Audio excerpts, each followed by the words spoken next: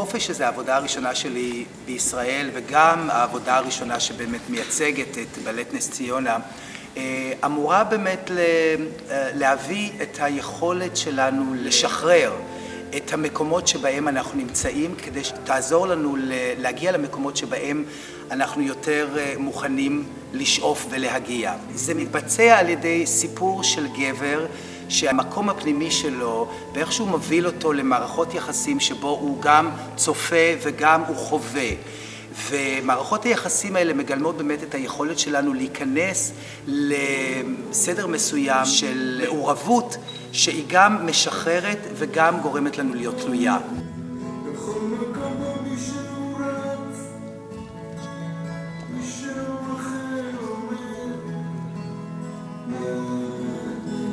הרעיון שתתקיים להקת מחול בנס ציונה זה כבר רעיון של כמה שנים שהוא בתהליך.